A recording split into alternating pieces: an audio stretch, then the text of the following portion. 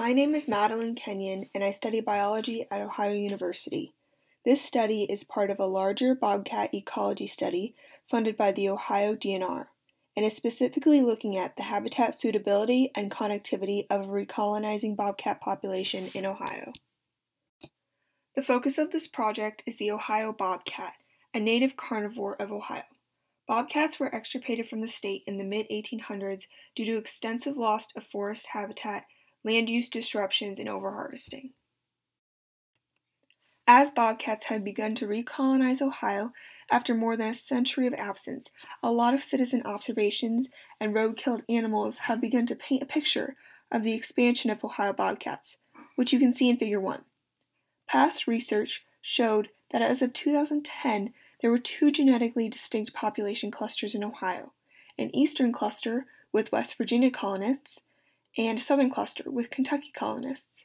Yet, there has not been any attempt to assess habitat suitability for bobcats in Ohio or their maximum expansion potential, which are necessary to make informed decisions in management of the species, its habitat, and its conflict with humans.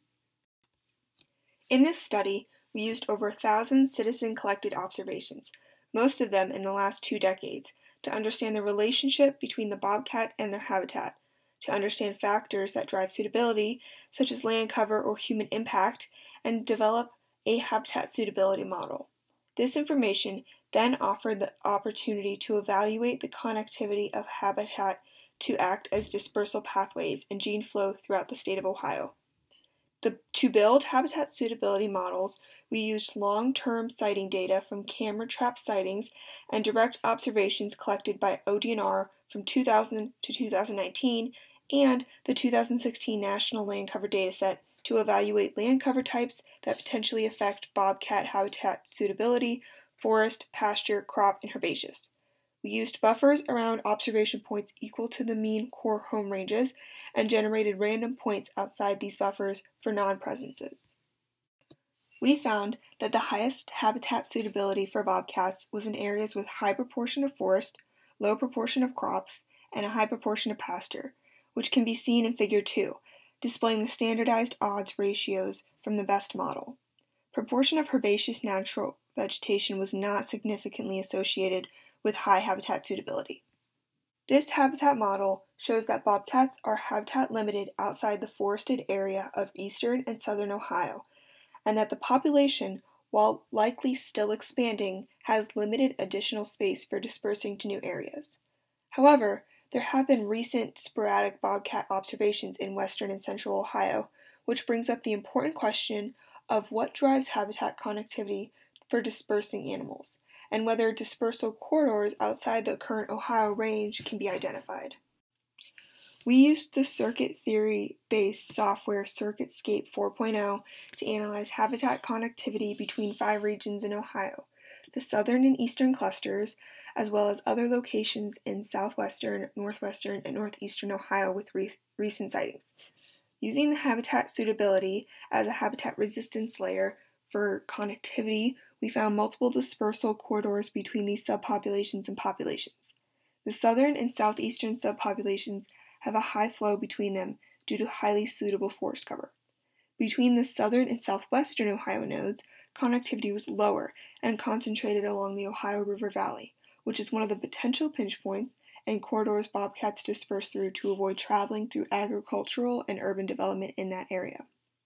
Central Ohio is dominated by agriculture, and there is low to no connectivity, which can be seen as the blue areas in Figure 5.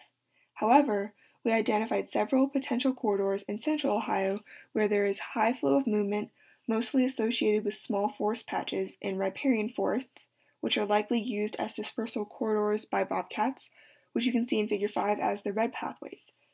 The red corridors across the whole state coincide very closely with verified sightings in Figure 1 and also with roadkill sightings. These findings add to existing knowledge about the recolonizing and expanding bobcat population in Ohio and are important from a management perspective.